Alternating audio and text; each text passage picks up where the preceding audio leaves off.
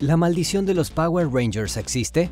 Muertes, accidentes y enfermedades que frenaron el reencuentro de Netflix. Ya pasaron 30 años desde que se estrenó la primera temporada de Mighty Morphin Power Rangers. Netflix planeó la película especial, Mighty Morphin Power Rangers, Once and Always, para celebrar el aniversario, y aunque quisieron reunir al elenco original, esto no fue posible por un sinfín de escándalos, incluyendo muertes y fraudes, que dieron pie a la llamada maldición de los Power Rangers. En esta versión solo participarán Walter Emmanuel Jones, el primer Black Ranger, y David Just, quien dio vida al Power Ranger azul. Quien también regresará será la legendaria villana Rita Repulsa, que ahora tendrá una nueva apariencia pero seguirá siendo interpretada por Barbara Goodson. This is Ranger business, okay? Let us sort this out. Rita's creating a time portal. I'll kill you before Zorda makes you Rangers. Aunque no regresarán los Rangers rosa, amarillo y rojo originales, serán reemplazados por sus contrapartes de las temporadas 2 y 3 de la serie. De esta forma, Steve Cárdenas, Karen Ashley y Katherine Sutherland complementan el elenco del especial de Netflix. Y si bien no es la primera vez que dos Rangers del mismo color se cruzan en una película, Once and Always contará también con la presencia de Johnny John Bosch, quien dio vida al Black Ranger de la segunda temporada. Eso sin mencionar que Alpha 5 será interpretado de nuevo por Richard Horvitz, listo para dirigir a los Power Rangers. Power Rangers! Get to your assigned stations now!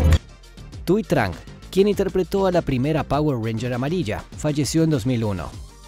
Para ese entonces, ella ya había dejado la serie, a pesar de haber estado en 80 episodios del programa noventero.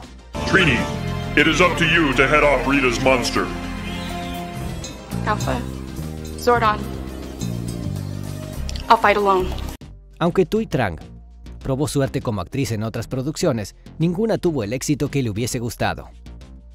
Por este motivo, ella dejó la actuación y se dedicó a la ingeniería civil, carrera que estudió antes de convertirse en la Yellow Ranger. Por desgracia, cuando tenía solo 27 años, tuvo un fatal accidente automovilístico. A pesar de que el mundo lloró su pérdida, dentro del canon de los Power Rangers, nunca se explicó qué pasó con su personaje. Y es que la Ranger amarilla de Mighty Morphin regresó en repetidas ocasiones, pero nunca se quitó el casco, por lo que no era seguro si se trataba de Trini o Aisha, la segunda Yellow Ranger. Ahora en Once and Always, por fin se resolverá este enigma, pues su tráiler mostró qué fue de la Yellow Ranger Tui Trang. She killed Mom. We gotta destroy her. Es así como la trama de Once and Always será un homenaje hacia Tui Trang, pues además de que se centrará en la muerte de la Power Ranger amarilla, su legado seguirá vivo a través de su hija, quien será interpretada por la actriz Charlie Kers. En diciembre de 2022 se dio a conocer la muerte de Jason David Frank, quien dio vida a Tommy Oliver, mejor conocido como el Power Ranger verde de Mighty Morphin. Su deceso tomó a todos por sorpresa, incluyendo a su esposa, Tammy Frank.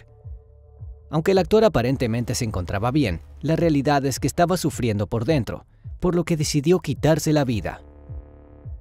Según relata su viuda, se habían separado anteriormente, pero estaban reconciliándose. Por este motivo, decidieron hacer un viaje de fin de semana para revivir su relación. Se hospedaron en un lindo hotel y fueron a un baile country, pues Jason amaba este tipo de música. De regreso en su habitación tuvieron una conversación muy emotiva hasta que Tammy salió por bocadillos para ayudar a Jason a relajarse y a recuperar la sobriedad. No pasaron más de 10 minutos cuando ella regresó, pero para ese momento su esposo ya no le abría la puerta. Cuando llegó la policía al lugar fue cuando ella descubrió que Jason ya no estaba con vida. La verdad es que no tenía idea de que Jason estaba pensando en terminar las cosas.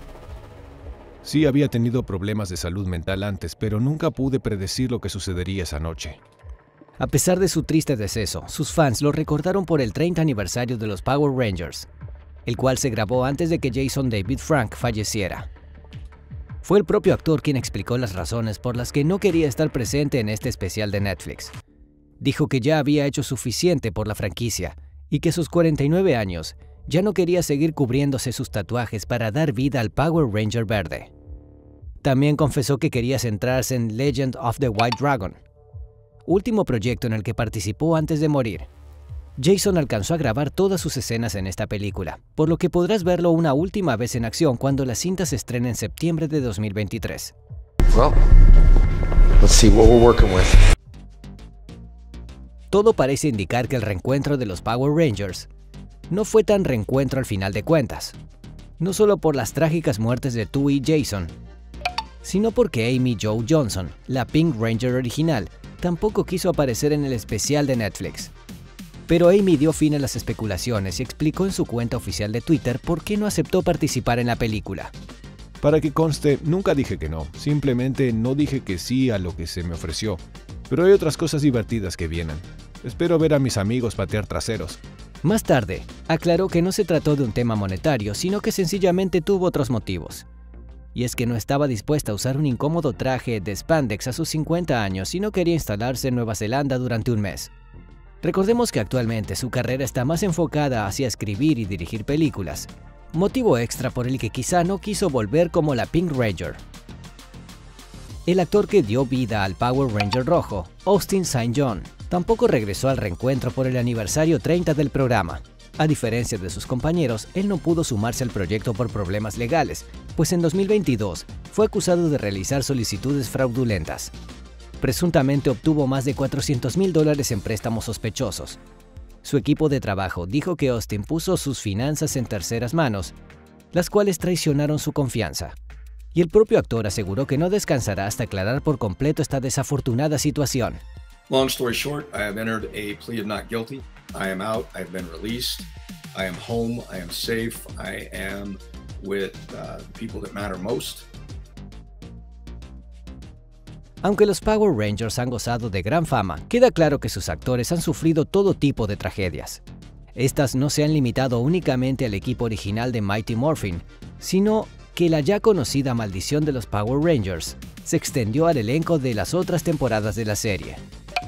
Robert L. Manahan, quien fue la voz de Sordon en las primeras temporadas, murió en el año 2000 de un aneurisma cardíaco.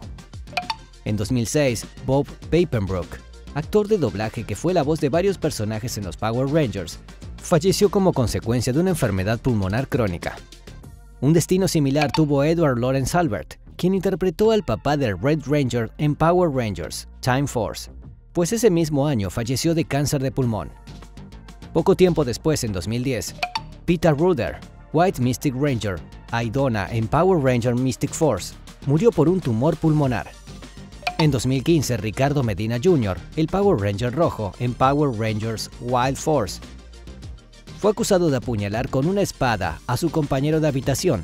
Fue sentenciado a seis años de prisión luego de declararse culpable. Y estas son tan solo algunas muertes de las que se conoce su causa, pues otros actores de la saga han fallecido por motivos desconocidos hasta el momento. ¿Y tú, conocías las tragedias que persiguen a los actores de los Power Rangers? ¿Estás listo para ver el especial por el 30 aniversario del programa? Si te gustó el video, no olvides dejarnos un like. Y si llegaste hasta el final, comenta con un emoji de guerrero para saber que lo lograste.